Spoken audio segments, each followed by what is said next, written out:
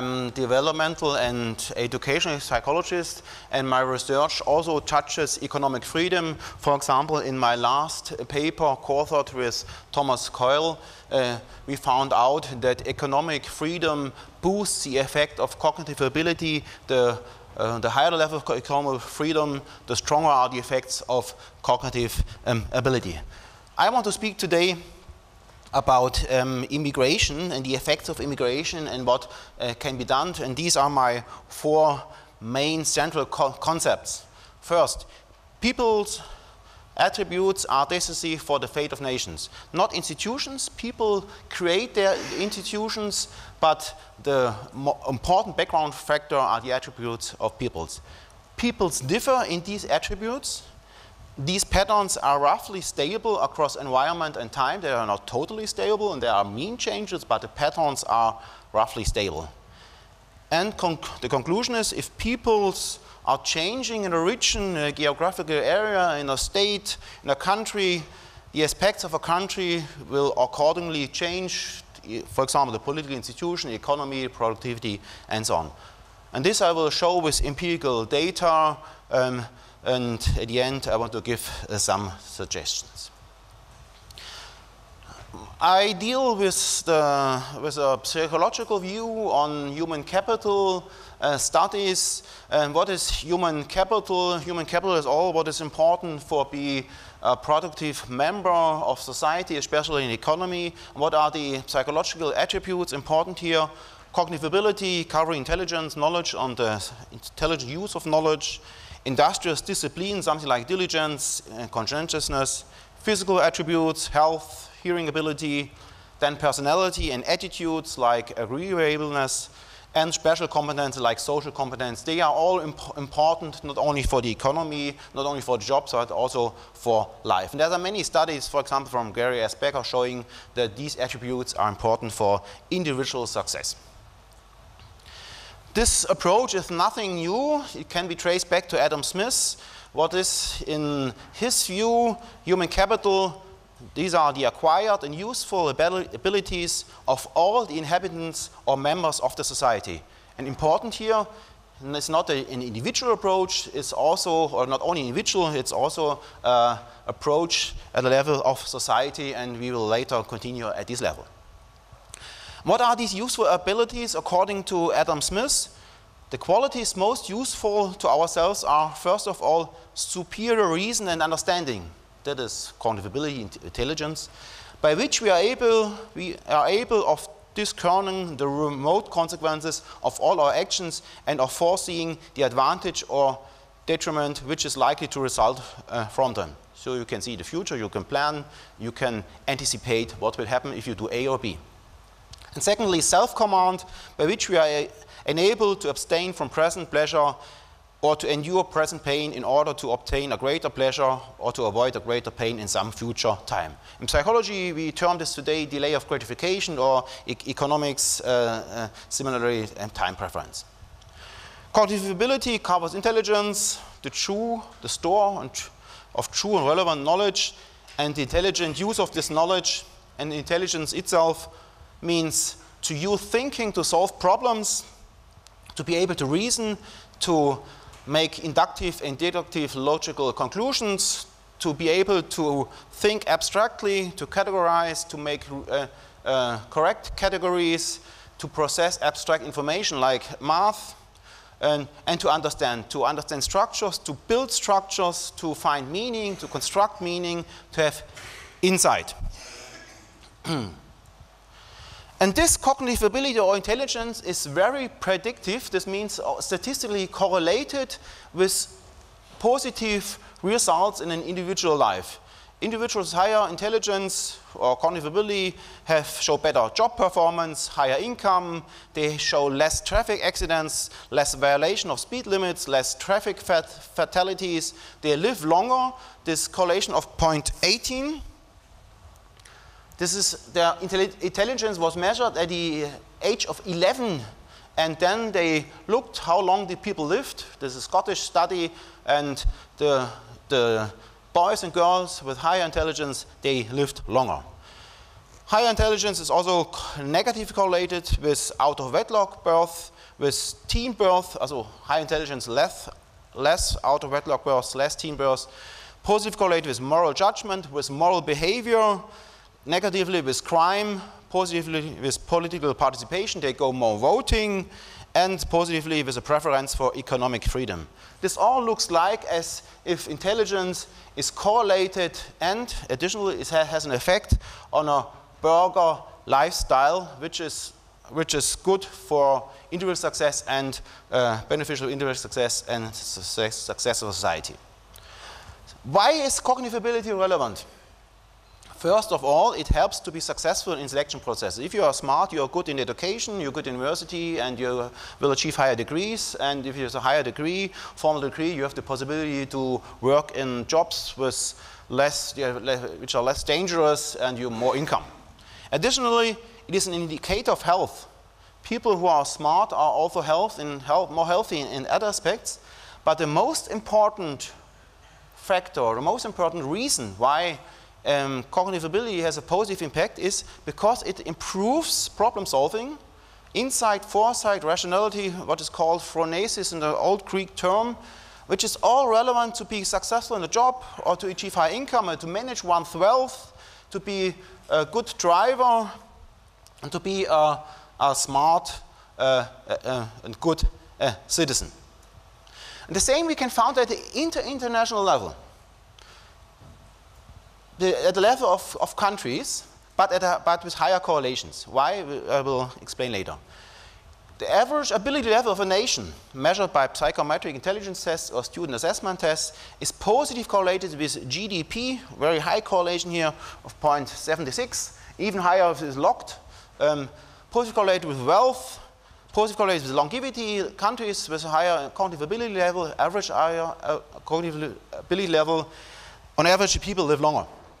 With hate as an indicator of, of long-term wealth, is positively correlated with technological security, airlines less crash down in road, less road uh, accidents and um, less uh, accidents uh, in, uh, in the world of work.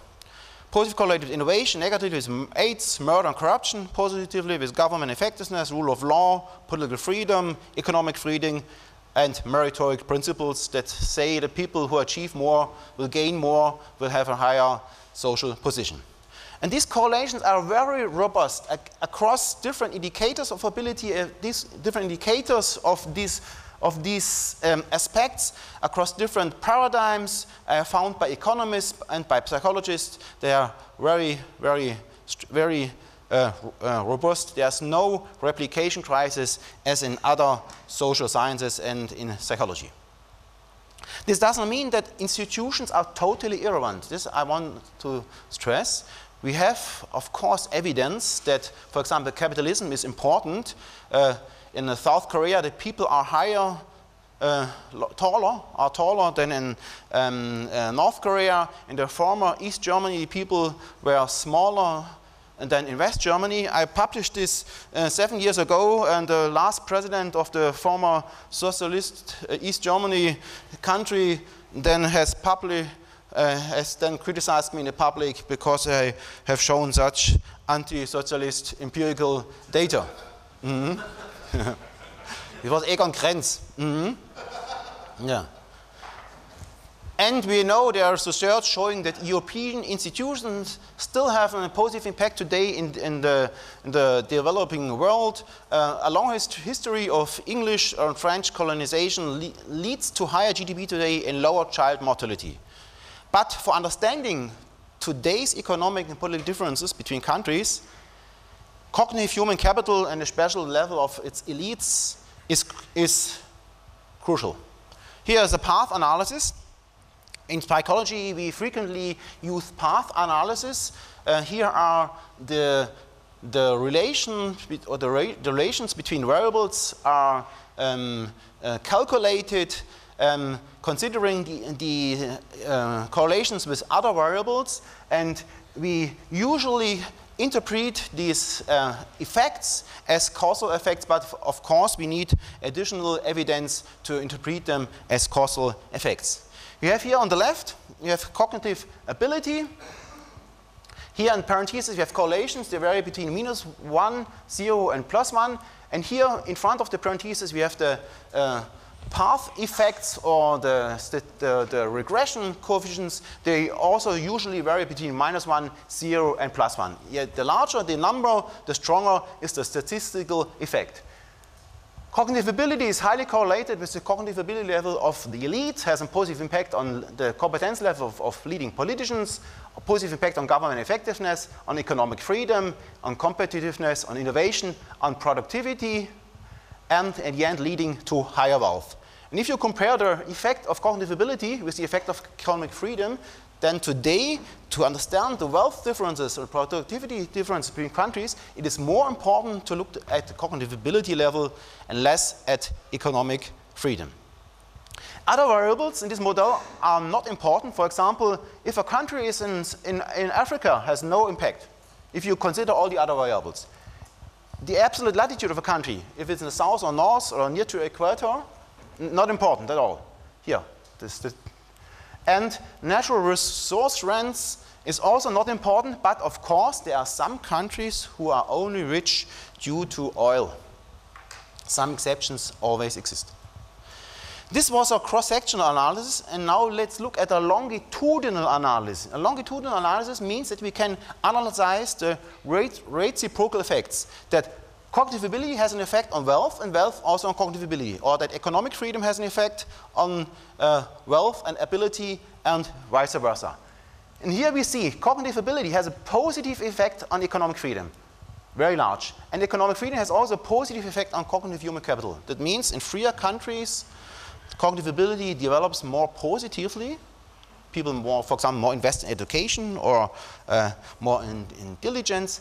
But much more important is the effect of cognitive ability on economic freedom.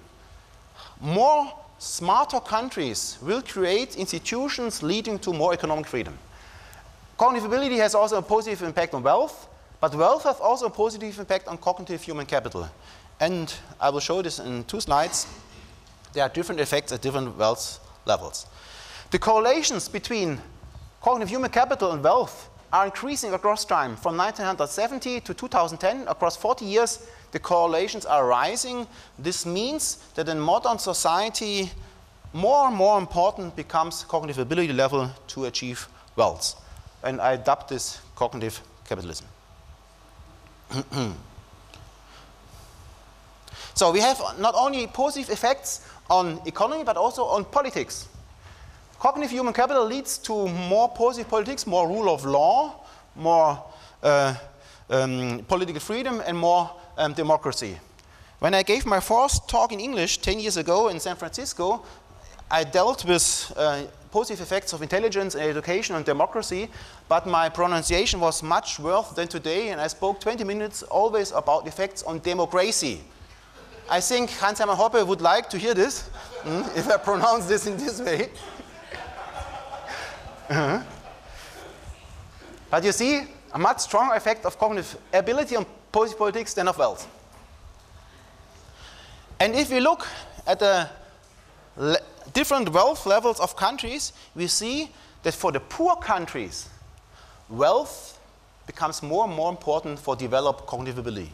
But for the rich countries, wealth is nearly not more important to develop ability, but ability becomes more and more important to go further to progress in economic productivity because modernization increases cognitive challenges.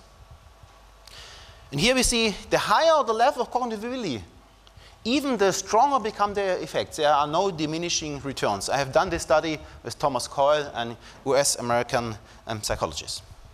So, why is cognitive ability relevant at the level of nations? First of all, cognitive ability increase at similar level individuals, efficiency, rationality, and so we have aggregated effects at the level of nations. But now I will come to show some work or refer to some work of socio sociologists. Yesterday we had some bashing of uh, sociology, but there are really good sociologists who have done uh, important work. For example, Norbert Elias, he has shown in his studies that, that there's an interconnection between psychological development and development of society, between psychogenesis and sociogenesis. People's attributes have an effect on institutions, and institutions again have an effect on the development of individuals. And last, here I cite the work of, um, of Garett Jones, he's an economist from George Mason. Mason. Hive mind, he, he has termed um, this phenomenon. There are positive interaction effects, multiplier effects, um, because smarter people, for example, better cooperate, they make mess, less mistakes, and in groups with, with smarter peoples, the effect of cognitive ability is boosted. So, I spoke about the positive effects of cognitive ability on the development of nations. But are there any differences in cognitive ability across nations? Yes. There are huge differences. And this is a new, new information we had not had 20 years ago. 20 years ago, uh, people, scientists, all believe more or less that all countries are similarly smart. And if there are differences, it's only due to um, problems of testing or maybe some uh, um, not enduring differences, for example, in nutrition. But today we know, due to the student assessment studies and due to the work of Richard Lynn, who collected many intelligence test results, that there are very, very large differences in cognitive ability between countries. Let's give only three examples. TIMSS is a study in math and, and science in, for 10-year-old students, pupils. The lowest result was found in Yemen, 200 points in student assessment scale. It's about IQ 56. The largest uh, values in Korea, about 590. Difference of one, more than 100 IQ points and of about calculated 11 years of school. And the same you can find in other studies, in PISA or in IQ study. There are very, very large differences. Here's a map of the average results in the world. The lowest results are found in, in sub-Saharan Africa and the highest in East Asia, followed by North Europe, Middle Europe, North America, Australia, and New Zealand, and then Eastern Europe, Southern Europe, Latin America, Arabian countries, uh, um, uh, India, Southeast Asia. So we have I have shown there's a huge, there's a very important impact of ability on the development of nations, and that there are large differences. But are these differences stable? Yes, they are stable. They are first stable across different studies. I have done here a statistical analysis, factor analysis. We, we use this frequently in psychology, and we have here, at maximum, we can have loadings at one. And the higher the loading, that means the more similar are the results in different tests. We are seeing here the results of TIMSS, of PIRLS, of PISA, different scales, literacy, math, science in different years, and psychometric intelligence tests here too, and former old studies in student achievement, and they more or less converge uh, at one very strong G factor.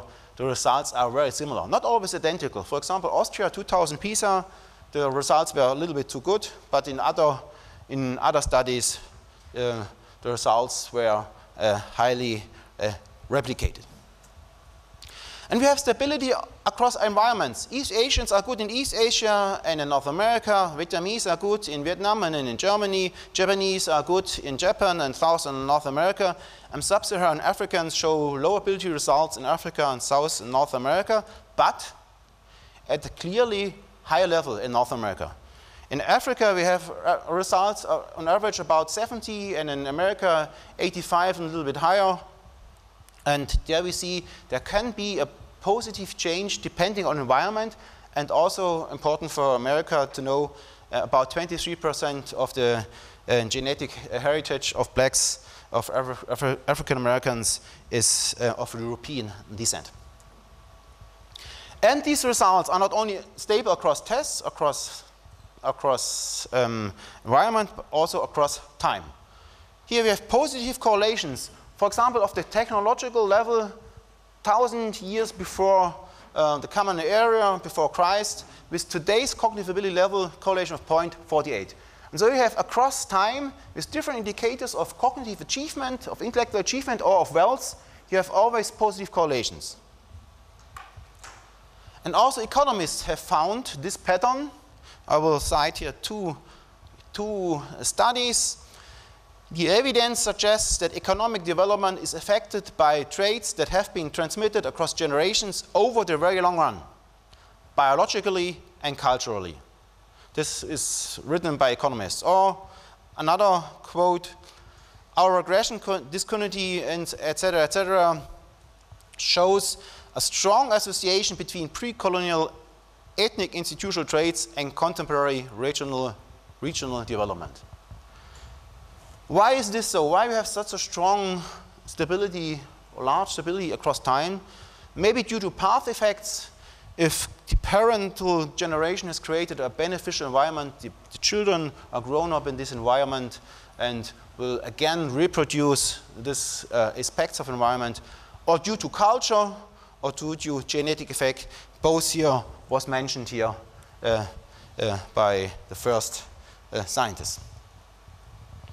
So, I want to, I have shown that ability level is important for the development of societies, that there's a large difference and that these differences are stable across tests, environment, and time. What we know today about the difference between natives and immigrant inability. Maybe it could be that there are coming people from, on average, low ability countries, but the elite is coming. Or maybe the environmental quality, of, for example, United States schools or German education system or what else, or France, uh, um, even if it's not so good, it's better than in the developing countries, is so good that the immigrants could catch up and achieve the similar, a similar level.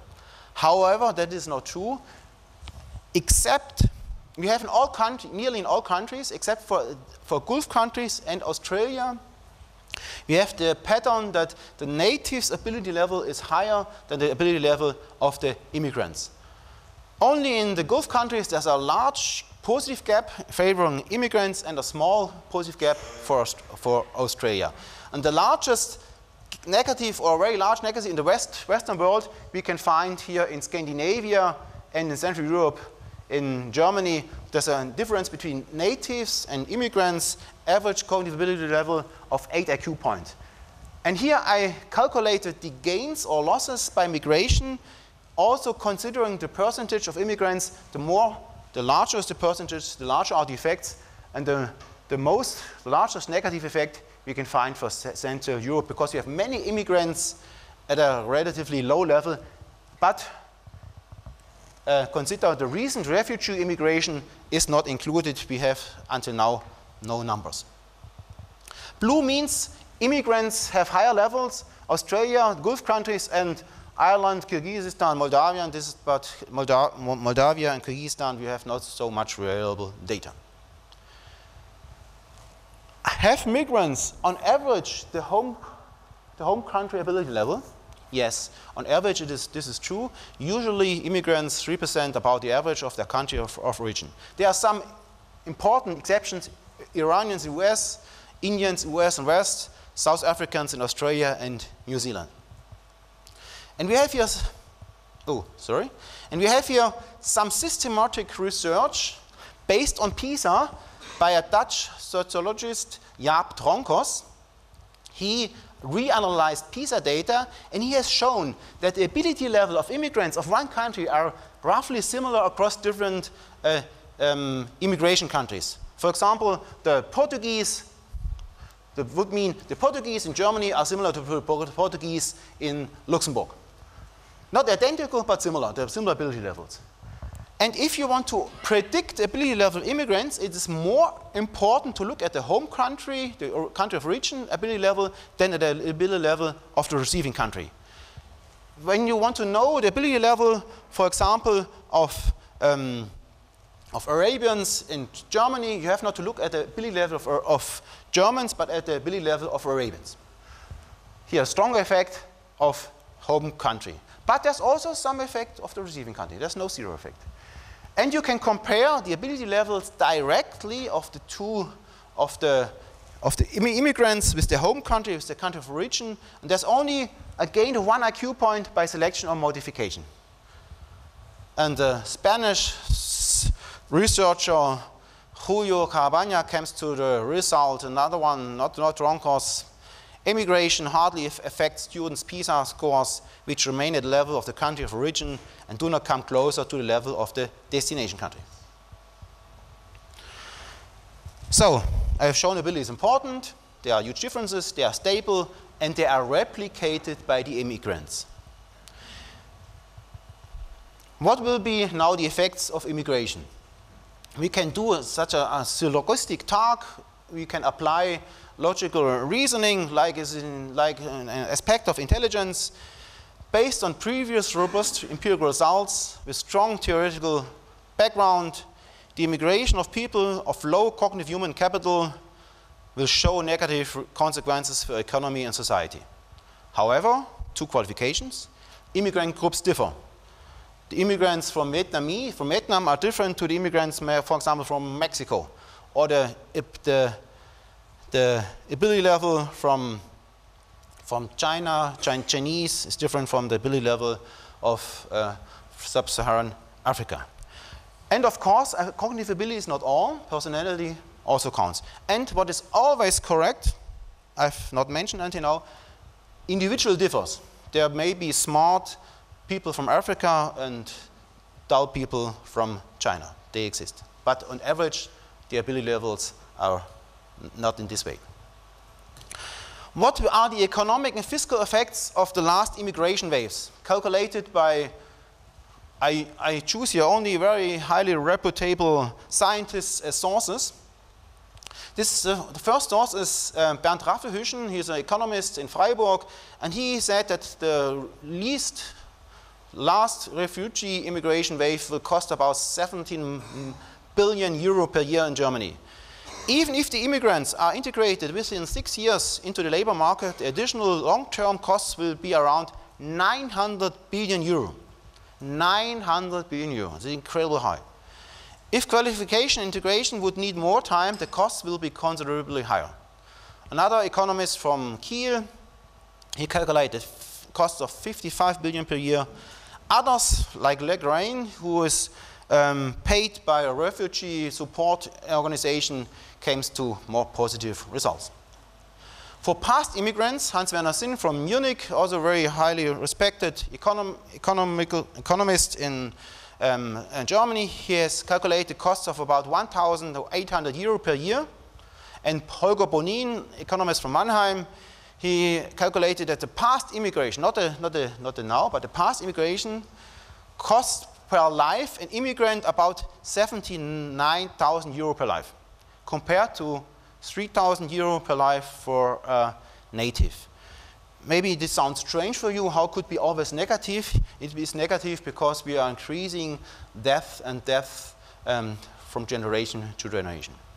That means immigrants show a 25 times higher greater loss compared to natives. And even in Canada, you have a negative effects of immigration. Canada and in Germany, if you look at the newspapers and so on, is always seen as a positive example how to deal with immigration. Oh, look at Canada, how they are doing this so well. But it's not, do, not done well because also in Canada, the effects are negative.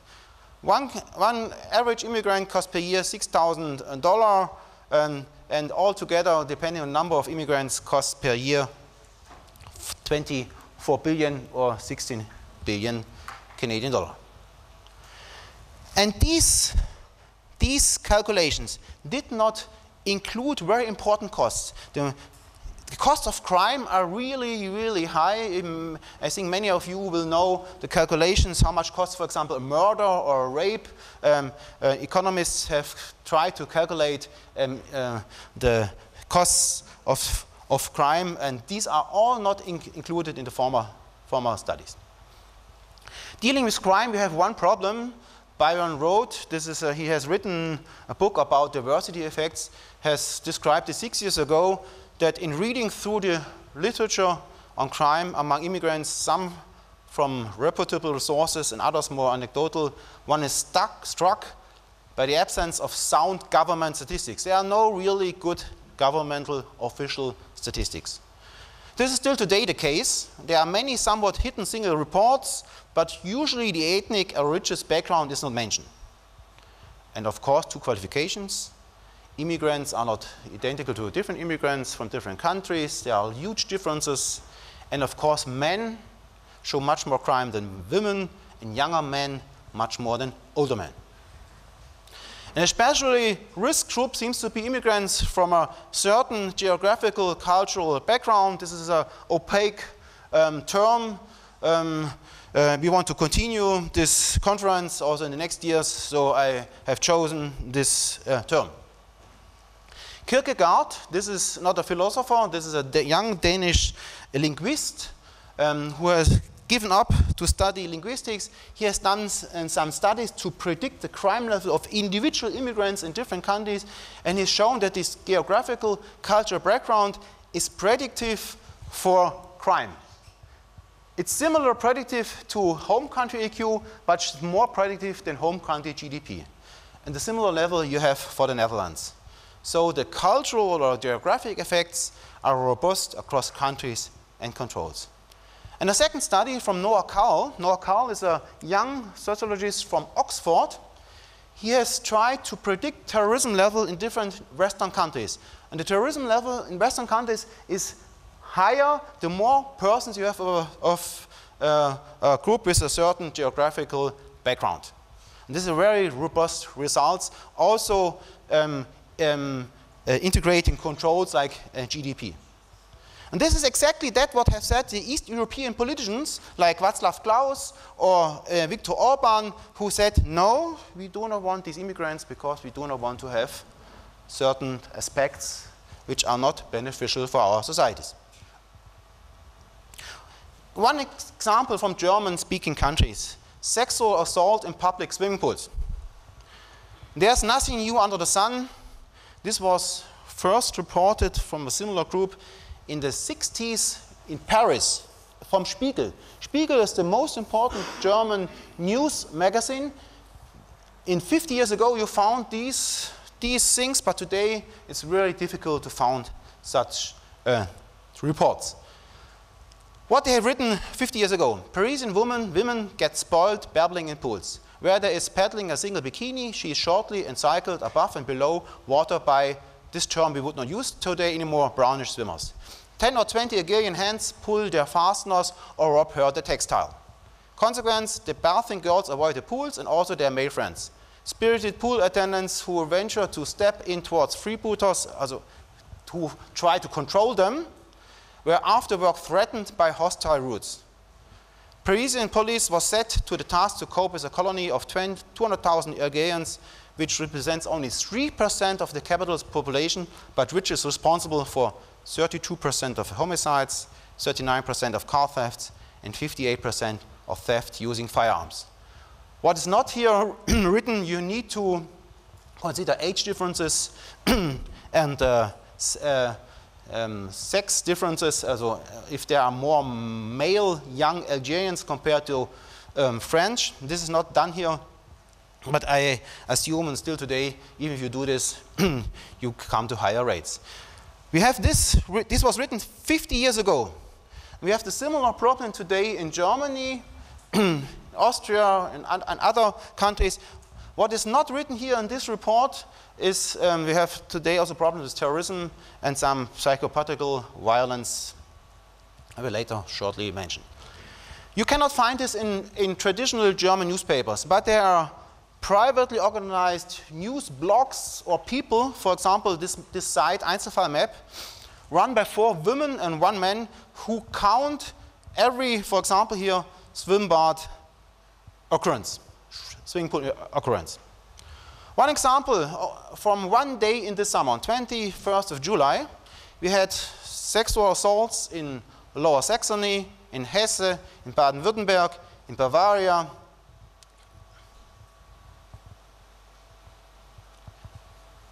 We had them in North Rhine-Westphalia, we had them also in Austria. We have also sexual abuse on slides and showers in changing rooms, violence against other guests, not following the instruction of pool supervisors.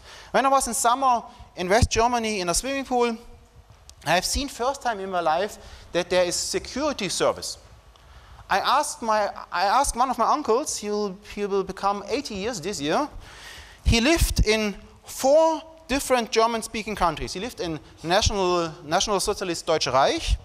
He lived in Socialist Eastern Germany. He lived in Western Germany, and he is living now since 40 years in Austria.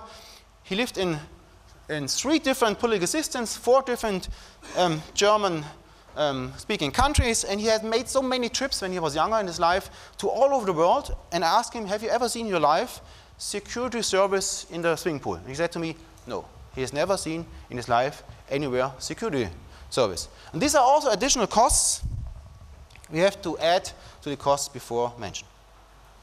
Further examples, violence in sports. Here also many times mad violence, like done by Zinedine Zidane in, the, in his fast game and the, uh, and the final game of the uh, uh, Copa Mundial, I don't know what to, say in English. Or you have pathological violence against own wife, against own children, against relatives. For example, in 2014, an Afghan dentist killed in religious delusion his own family. You have rape and group sex, sexual assault, Cologne, Stockholm, riots, France, Sweden, England. And you have increasing violence against Jews in Belgium and France, Sweden, starting also in Germany.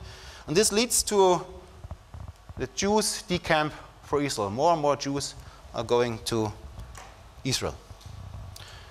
These were special effects of a special kind of immigration, but you have also effects of diversity. I will conclude, I will be ready in six, six, seven minutes. Hmm? we have also diversity effects independent of the special characteristics of the immigrants. The ability level of the natives is somewhat affected by diversity, but the ability level of the immigrants is much more affected by diversity. It means the more immigrants you have in a class, the lower will be the average achievement level, average learning level in a school. And this is one important result that all these negative effects are less serious for the average native, but they are more serious for the just existing immigrants or just for the coming immigrants. The people who mostly benefit of fewer immigrants are the immigrants themselves.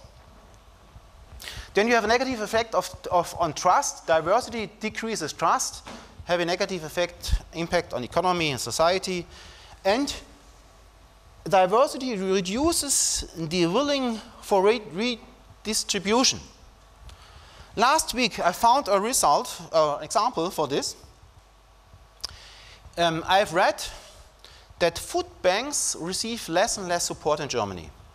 The newspapers have written that the, new, that the food banks who give food away to poor people, the food banks receive less food because of shelf life and competition.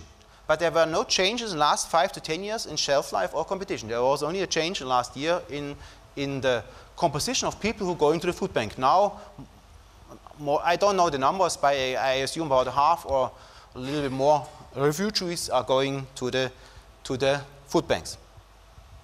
We have also effects on science. We will find more studies on stereotypes, prejudices, racism, and multiculturalism, diversity. We'll have politicization of research, ignoring research coming not to politically wished results, which is frequently labeled as being right, racist, or similar. And if it's something right or racist, it's not true it's, it's assumed. We'll have more cloud cuckoo land and commissioned research coming to the expected results. One, one example is, is research of TENT. TENT is a refugee supportive organization. They found that investing one euro in refugees will have economic benefits. I think this is true. If you invest money in education, in, in training, human capital training, this will have a positive impact. But then they concluded we need also anti-discrimination laws, and they concluded that, that the refugees as a group will have a positive impact on the economy and society, and this last is not true. The first is true. If you invest, you will have usually a positive effect, but the last, that the, that the refugee immigration will have positive impact on society, is certainly not true. We have problems in research for example, the results of stereotype accuracy research are not read are not accepted. Um, the average correlation between stereotypes and criteria is about 0.81. There's nothing, there's no social psychological result that is more true than stereotypes. You can predict with stereotypes uh, very good at the group level uh, average behavior of people or average results of people. And we have a problem in the social sciences, but also in psychology, that the, that the political diversity is less and less reduced and becoming the, the political milieu at university becomes more and more left-wing. We have, for example, in the United States, 14 left-wing psychologists for one right-wing, or 40, 14 liberal for one uh, conser conservative. We have also effects of media. Media bias produce a biased view. One example from uh, Sweden, Police in Finland have questioned eight Swedish men following claims a woman was gang raped on a Viking Line ferry in Finnish waters over the weekend. Eight Swedish men had made this. On close inspection, this was a newspaper, and this was what you, what you can find in newspapers, and this you can find in internet and Gatestone Institute. On close inspection, it turned out that seven of the eight suspects were Somalis and one was Iraqi. None of them had Swedish citizenship, so they were not even Swedish at that sense. And we have similar occurrences in Germany, for example. There was a story last year that Syrian refugees rescued a member of NPD. NPD is a Nazi following party, um, and, and Syrian refugees sh should have rescued him out of his burning car. But uh, bloggers had found out that there are no evidence for this uh, news, and most probably it were other people, bus drivers, who rescued him. Or and there was, there was a flood um, in, in Germany, and Austrian TV transported refugees to the houses, and they wanted to film how refugees are helping um, um, uh, the natives against the flood. Yeah, news produced, uh, which is not true. Today it's not, not more possible to inform oneself in standard media about certain subjects being inclined to political correctness. So you have to use other, others, other information like, like letters of readers if they are published or alternative news portals, but you use always to cross-check the information, privately made pages, bloggers, or you need to search for non-PC key terms. Then you will find a totally different reality. and we have effects in politics. Affirmative action is demanded in public service, in parties, in companies and police. And this was also described by Thilo Sarrazin. For example, in Berlin, they are doing affirmative action for immigrants and to bring immigrants and police.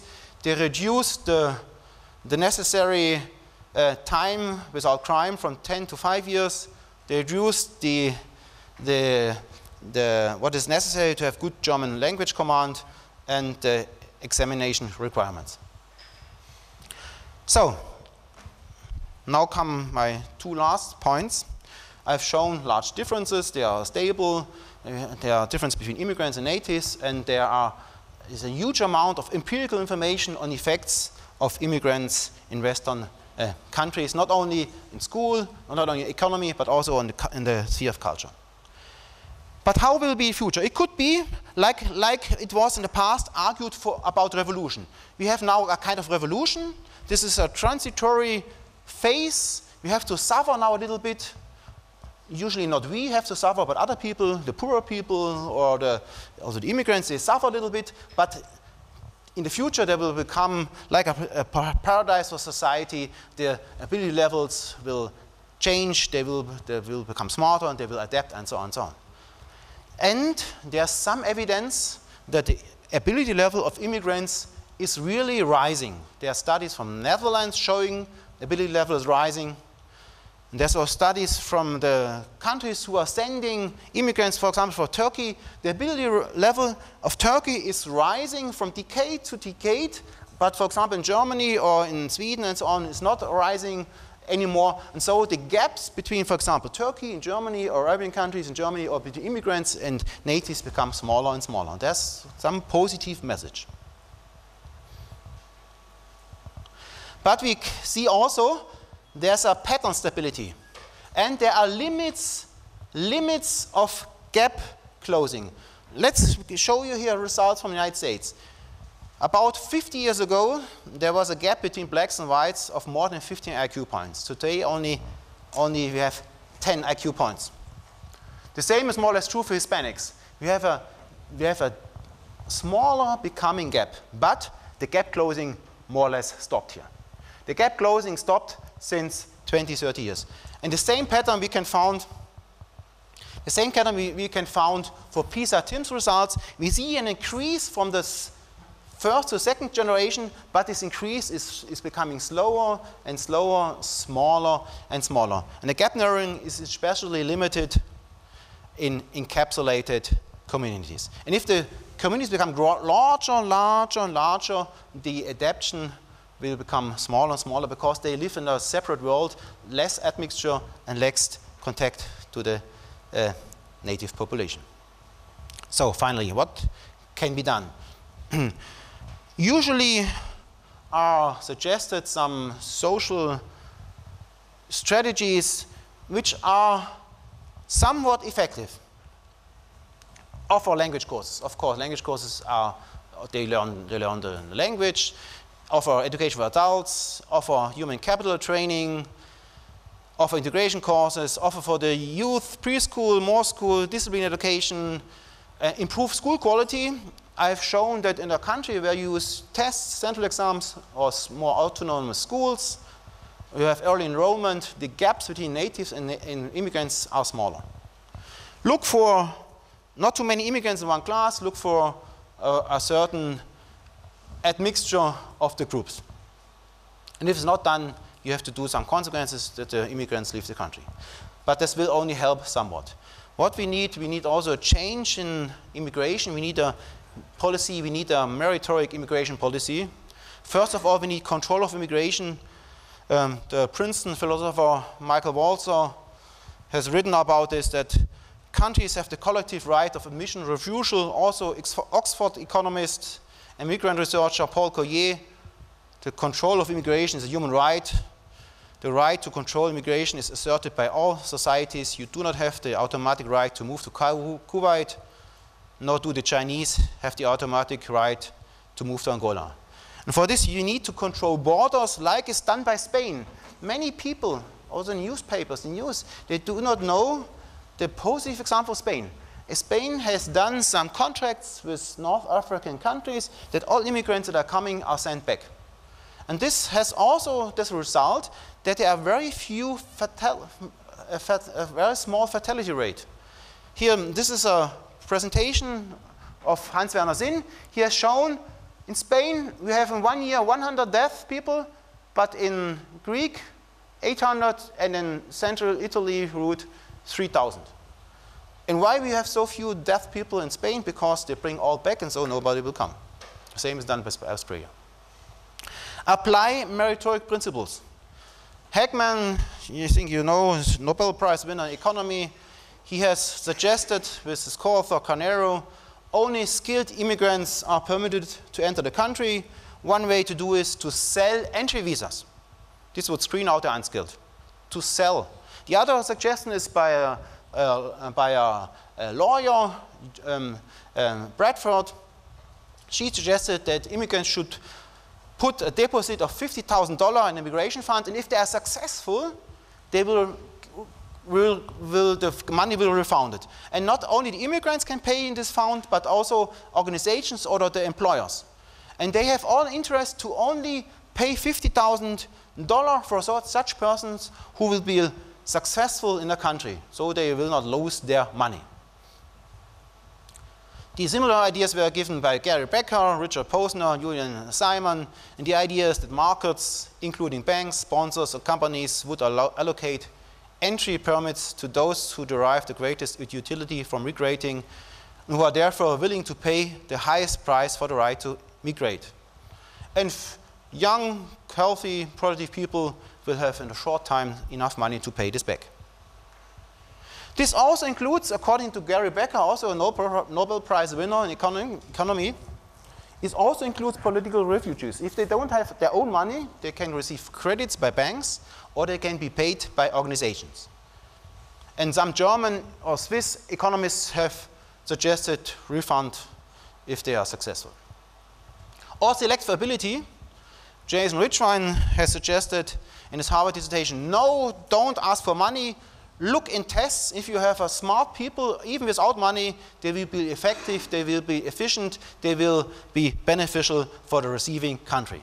Similar Richard Posner or a judge in United States.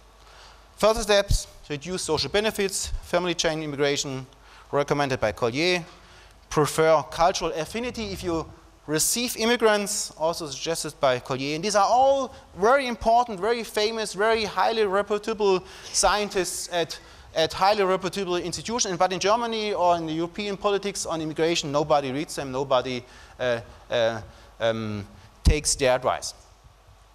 But some qualification, be careful for selecting cognitive elites if you take cognitive elites from developing countries, they are not anymore there. The, the developing countries will suffer. And if you, if you take many smart immigrants, you will discourage your own youth. They will not invest more time to, for example, in STEM, as is, is described for the United States by Byron Roth. Finally, my last page doesn't work more anymore. Start remigration.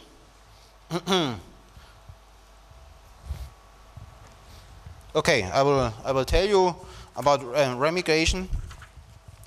Immigrants with crime record, they sh should immigrate.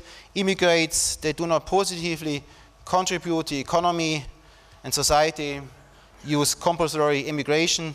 And if countries do not accept them, use money that they will accept them. Germany invests so much money in developing aid, also um, via European community, European Union. Um, this money could be also used for countries that they take back their um, immigrants. And if this does not work, Thilo Sarrazin has suggested that use force, use some ships and so on, and then they will take back their own people or bring them to other countries like done by uh, Australia. But most important, not, not remigration is the, is the solution. You have to control the borders and, and develop a meritorious immigration policy. Thank you very much for your attention.